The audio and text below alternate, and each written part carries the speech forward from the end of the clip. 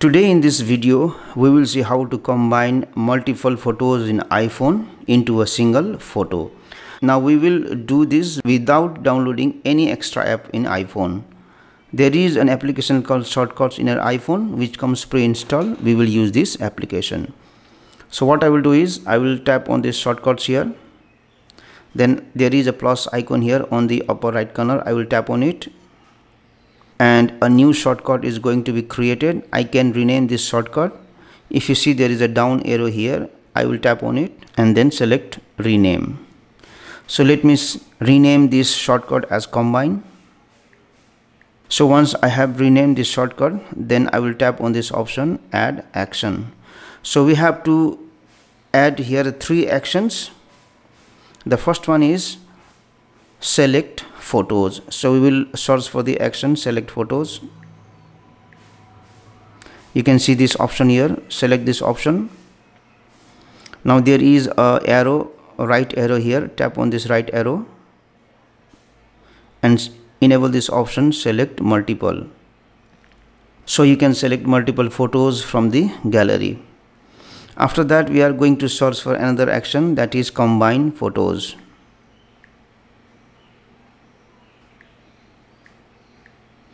combine images select it.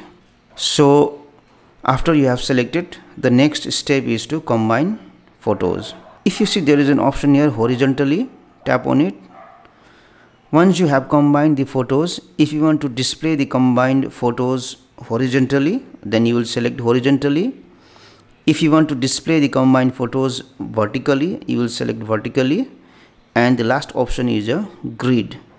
So let me select this option in a grid you can select anything.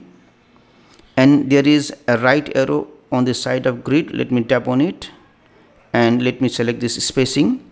So what you want to do here is after you combine the images how much of distance you want to keep between the images you can include here. Let me select 100 and then done so once you have combined the images now the third step is to save the images. So i will search for this save images action. So i will tap on this search box and then save. Save to photo album i will select it. And these photos will be saved to the recent folder. So once you include these three actions you have to tap on done. And a new shortcut is created so we have included three actions in this shortcut. One is selecting images the next one is combining images and the third one is saving images. Now everything will be done automatically. You just have to select photos. Let me tap on combine. Select photos that you want to combine. So let me select this one this one and then this one. After that select add. Now everything will be processed automatically now the process of combining is finished. Let me close this one and let me go to the photo album. And let me open this recent.